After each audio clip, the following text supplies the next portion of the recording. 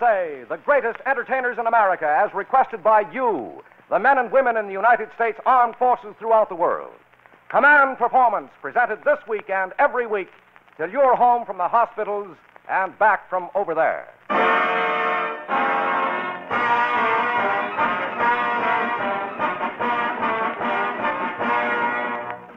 Hi, gang, this is Hugh Brundage. Bringing up another command performance with the lineup as requested in your wonderful letters to Armed Forces Radio, Los Angeles, USA. You know, you guys certainly know how to pick winners because the talent department tonight is chock full of real good stuff, believe you me. Now, to start the ball rolling, we've got a gal you've uh, seen starred in many a picture. The most recent one was The Champion, a very appropriate title for this wonderful gal because when it comes to looks and talent, brother, she's a champion. And here she is, Marilyn Maxwell.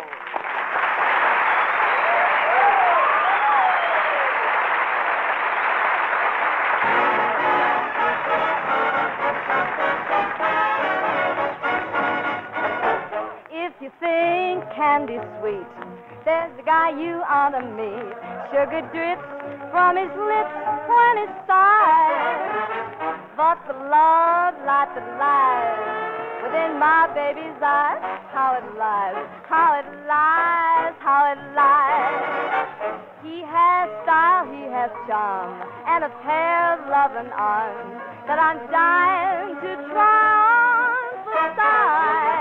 But the love light that lies within my baby's eyes, how it lies, ooh, how it lies. His name tops the list of every florist. His girls are standing ten deep in line with all of the trees in the forest. Why should I be the only clinging vine? One that you adore is the devil in an angel's disguise. But the love light that lies is the love light that dies. Well, I tried and I tried and I cried and I cried, but I can't figure out the reason why. But I do know that he has Thank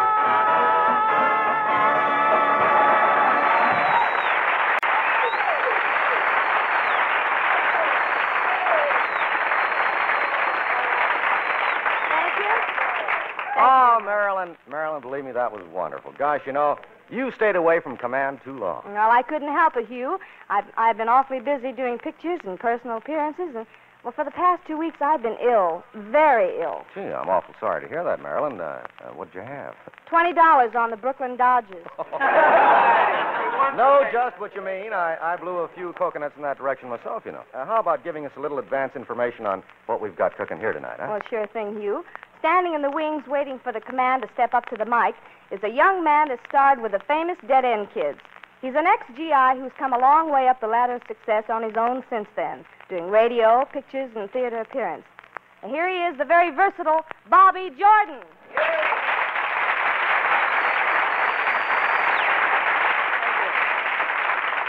Thank you very much. Hello, Marilyn. Why, Bobby Jordan, how you've changed. Changed? Why, yes, since the last time we were together, we were just kids in the same neighborhood.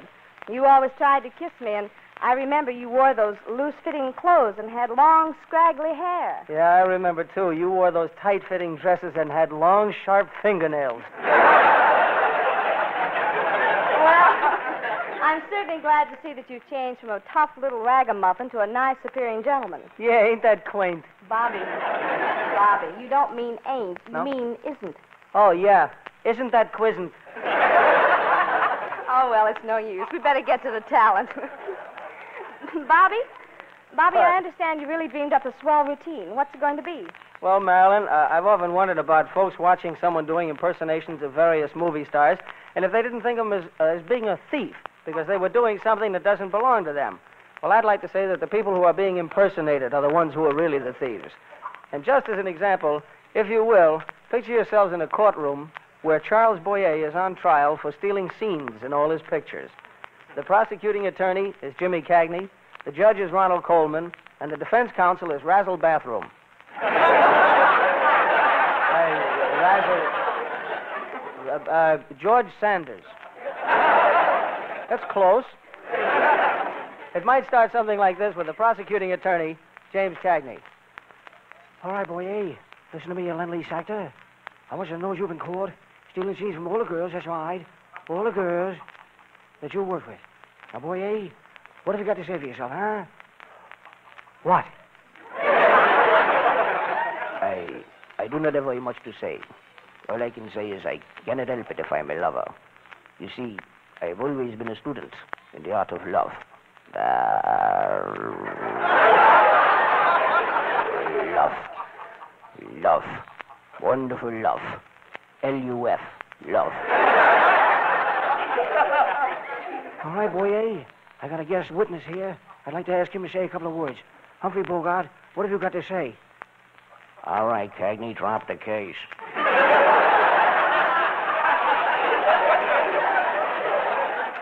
Thank you, Humphrey Pushcart. And right now, what do you got to say for yourself, boy, eh? Well, right now, I would like to have my attorney represent me, Mr. George Sanders.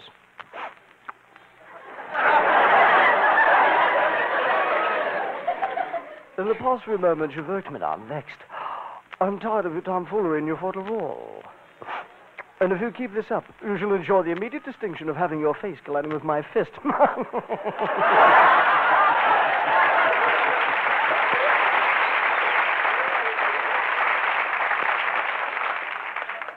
Oh, Thank you. Your Honor. Mr. Colman, what do you have to say? Ronald. Ronald.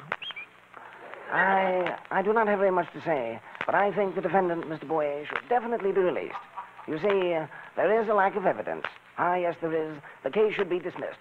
Uh, just a minute, just a minute here. What are you doing to me, Colman? You mean that's all you're going to say?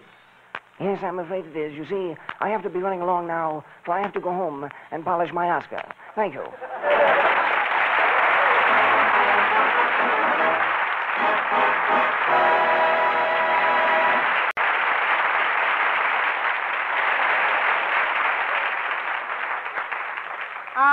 Slightly sensational, Bobby. But don't go away, because it's time now for another wonderful guest. She's a gal whose Capitol records are really capital. As soon as her platters reach the music stores, they're all gone. For this and other reasons you'll soon see, she's known as the real gone gal, Miss Nellie Lutcher.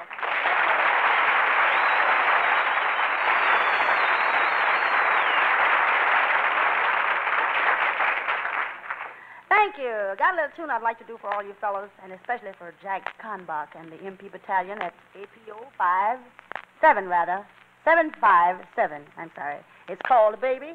Please stop and think about me.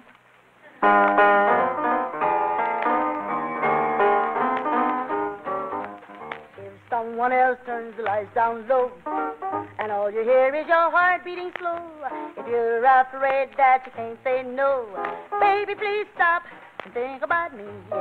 If someone else kind of starts that thrill, you want to stop, but you haven't the will. If every kiss makes your feet stand still, baby, please stop and think about me. Just keep an eye on your love. Don't let it go to waste. Love is like a bottle of wine. The longer you save it, the better it'll taste. If someone else kind of hold you tight and take you up to the dizziest height, you know it's wrong, but if it seems right, oh baby, please stop and think about me.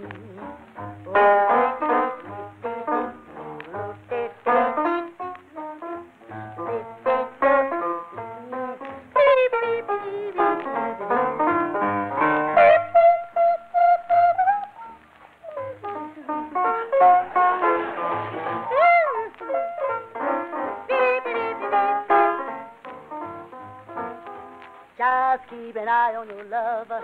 Don't let it go to waste.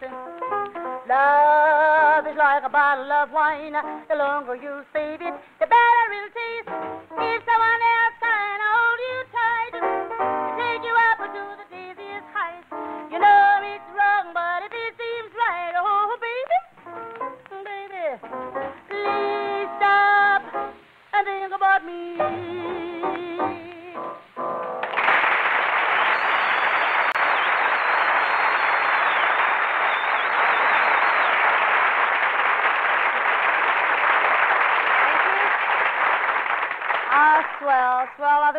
Nellie Lutcher, one of our favorite people. And speaking of favorite people, let's welcome one of the finest. It's a great feeling to see his fine movies, such as the latest hit entitled It's a Great Feeling. And you tell us it's a greater feeling to have him on your own show. So without further ado, let's bring on Jack Command Performance Carson.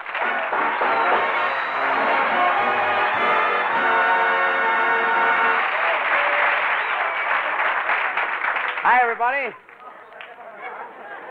Hello, Marilyn, you gorgeous, lovable, delectable creature. Come here right in my arms. Why?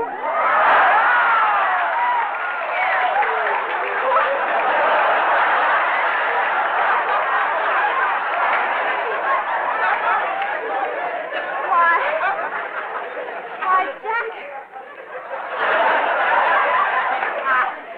Jack Carson, you kissed me. Yeah. Some dames get all the breaks. Where where do you get your license to kiss me? For this, you need a license, too? Look, I even brought you a present, something from my latest picture, The Good Humor Man. Now playing the Capacity House at your neighborhood theater, p- fresh popcorn in the lobby. Oh. Pretty hard thing to say. Oh yes, Jack, that's very nice. Is it one of those chocolate ice cream things? I love them. No, no, it's my own concoction. It's chocolate covered brown bread on a stick. Chocolate covered brown bread on a stick. Yeah. I call it a pumpernickel sickle. Oh, well, I, I thought so. Catch Jack Carson spending any real money on a gal. Now, now, wait a minute, Marilyn. The last time we went out, didn't I promise you dinner with chilled wine and candlelight? Yeah, but it turned out to be warm Pepsi Cola and a match. You'll never get me out with you again. Oh, please, Marilyn, just tonight. Come on. This time I promise we'll look at television from inside the store. No, sir. I can't anyway. You see, I promised Bobby Jordan I'd go out with him. Marilyn, come with me and we'll look at the stars from my penthouse on the 86th floor. No, that's too high for me. I also have a room on the second floor. But, Jack, if you live in a penthouse on the 86th floor, why do you need a room on the second floor? In case some nights I don't feel like going home.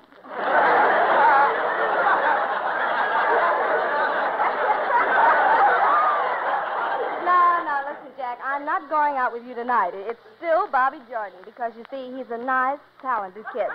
Talented. Mhm. Why? Because he does those imitations? Well, can you do them?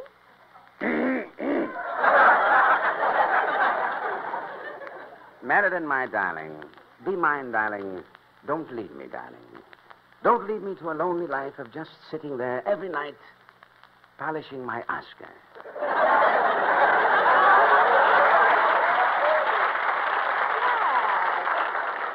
That's wonderful. if you could only sing. Marilyn, I can do Frank Sinatra and Nelson Eddy, too. Really? Well, let me hear your Frank Sinatra. The music stops.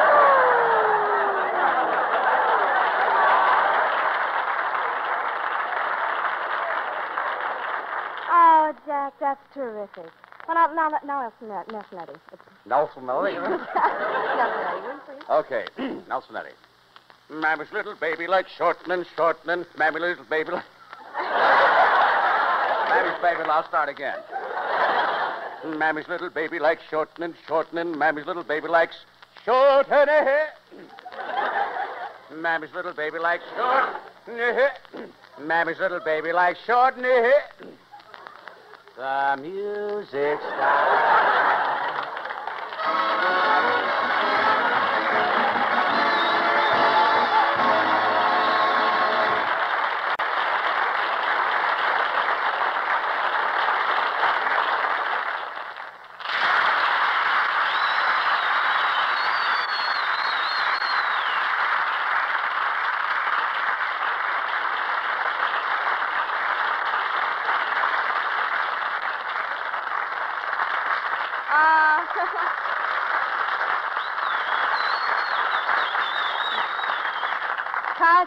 Really magnificent. Uh, say, Marilyn, you know, I've just been talking to Jack Carson. He says he'd uh, like to do his version of the champion.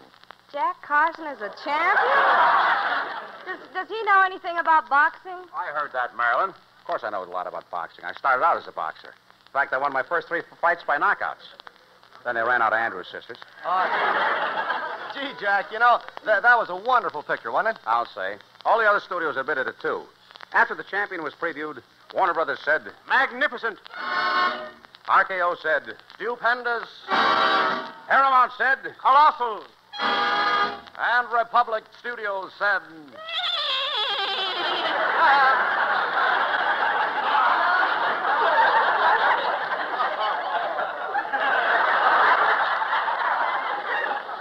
So we're happy to be presenting the command performance version of this movie tonight.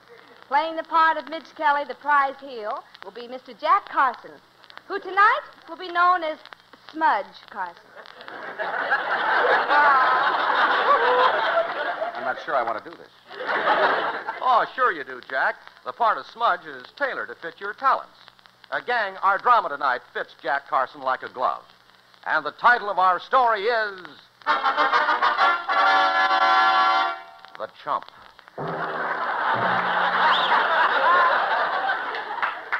I am Marilyn, Smudge Carson's sister. As a baby, Smudge was very cute.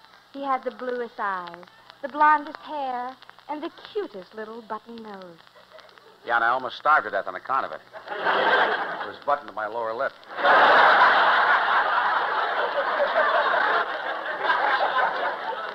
One day, he came running into the living room. Hey, Pop. Well, it's my daughter Gwendolyn. Pop, it's me, your son, Smudge. Look, Pop, can I have a suit of my own to wear? I'm getting tired of wearing sister's slacks.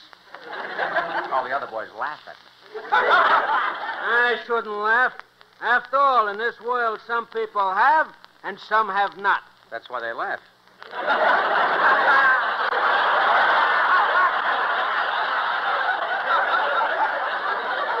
Where sister has, I have not. And they were way ahead of me there. And stop complaining and leave me alone. A man can't even read in his own house. Pop left the room. But I was determined to gain my point. So I followed him into the room where he always did his reading. The one room in the house where he loved to sit and read.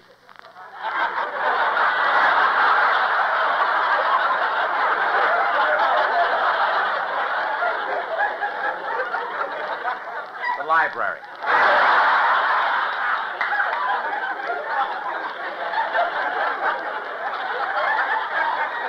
I opened the door. And there sat Father, reading the mellow passages from the classics he adored. Oh, uh, see the cow. What does the cow say? The cow says moo moo. Oh, Pop, Oh, see the sheep. What does the sheep say? The sheep says ba ba. oh, Pop, it's me, your son. Oh, see the baboon. now go away. Go away. Go bother your grandmother. Oh, okay. So I wanted to see Grandma. Dear old Grandma. Sitting there with a shawl, quietly sipping her medicine. Oh, Grandma, I said, reaching out my hand. And in her soft, sweet, mellow voice, she gently cooed. Get your hands off that beer, jerk. I paid for them there suds.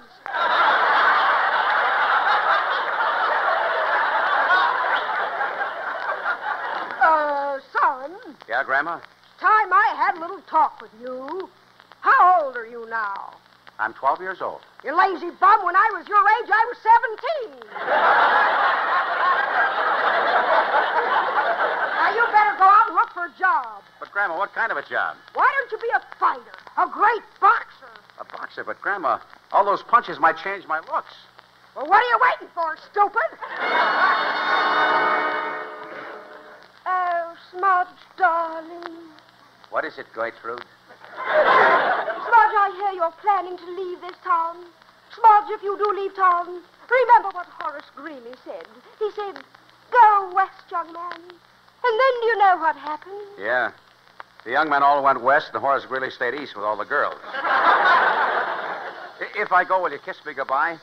Yeah, but gee, no girl would want to kiss me. I guess. Mm. Oh, Smudge. Smudge, you're so handsome, so rugged, so masculine. You're an Adonis. Oh. Oh, you're wonderful and marvelous and desirable. I am? Mm-hmm, certainly. And the most beautiful girl in the world would give everything she has to get one kiss from you. She would? Yes? What am I doing with a bag like you?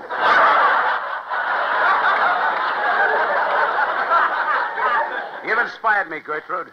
I'm going to go west and seek my fortune. Oh, wonderful.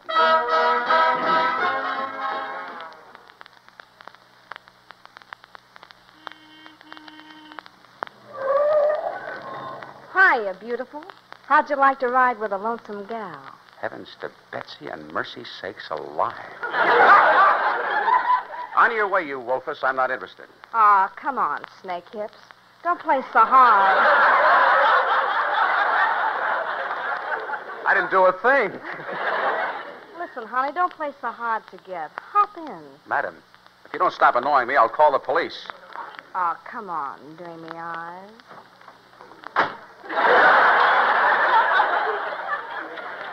Are you going to be a sweet lover man and put your arm around me, or aren't you? Look, listen. I never said this to a girl before, but Yes? I think I'll get out and walk. Madam, madam, take your hands off me. Careful. Careful, you're going to rip my shirt. Oh, baby, you've got a smooth chest.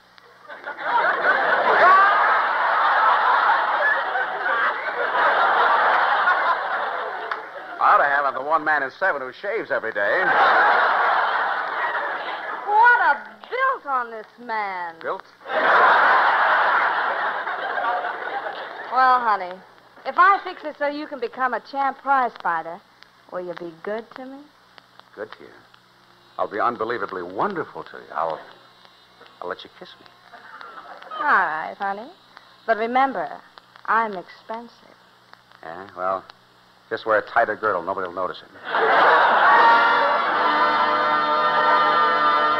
Through my help, Smudge Carson got fight after fight.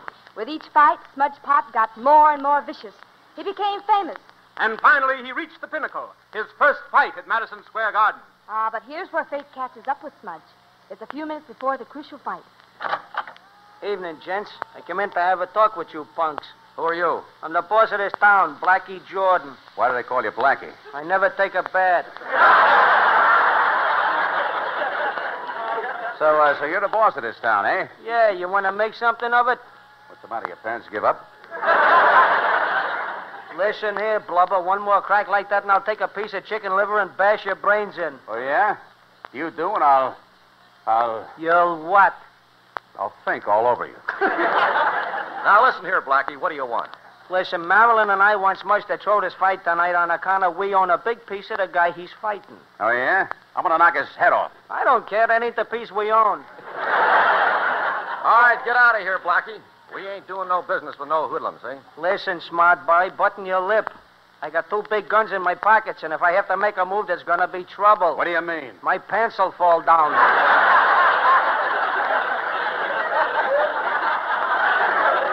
Well, look, Blackie, don't pick a fight with me. Look, I'm twice as big as you are. You know something? That don't scare me. I'll break you in half and fight you one at a time.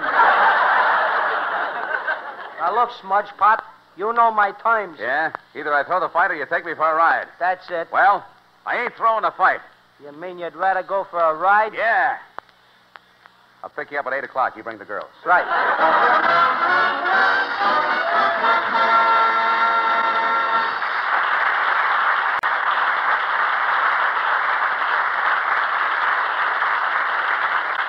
Oh, that's, that's beautiful emoting, Jackaboy. And say, Marilyn, how about climaxing the festivities with a good night tune? Very well, Hubert. Here's I'm in love with a wonderful guy. It's for all the bedside networkers, especially Ward B at Castle Point. I'm as corny as Kansas in August. I'm as normal as blueberry pie. No more smart little girl with no heart. I have a guy. I am in a conventional dinner with a conventional star in my eye. And you'll note there's a lump in my throat when I speak of that wonderful guy. I'm as tried and as gay as a daisy in May, a cliche coming true. I'm bromidic and bright as a moon, happy night, pouring light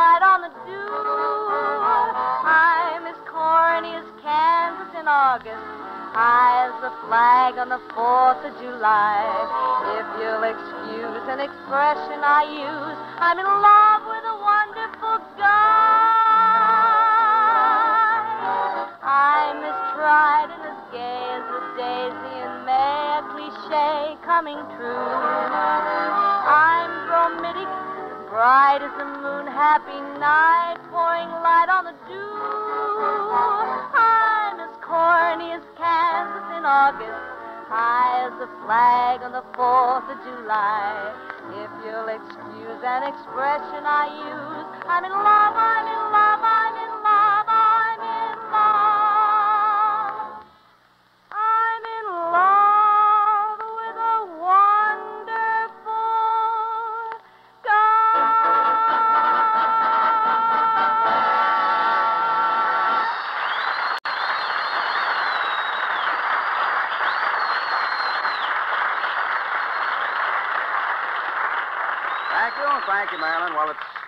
swell working with you. Thanks, Jack, and it's been fun working with all the fine people, working for all our fine listeners. Gang, we've we've had a marvelous roster on command performance tonight, but with Jack Carson, Nellie Lutcher, Bobby Jordan, announcing by Hugh Brundage, the acting of Bud Whittam and June Foray, and And Marilyn Maxwell. Ah, sweet Marilyn. There's only one Maxwell who really has a house. I'll see you, Jack. Wait, wait a minute, honey. Honey, why don't you go out with me tonight? Whatever for? Well, first we'll just get friendly. Mm-hmm. Then we'll get romantic. Mm-hmm. Then we'll get engaged. Then, Marilyn, we'll, we'll get married. And before you know it, why, we'll have six or eight children. Oh, yeah? Not before I know it. Okay. Thanks for asking us in, gang. And lots of luck. Good night. Bye.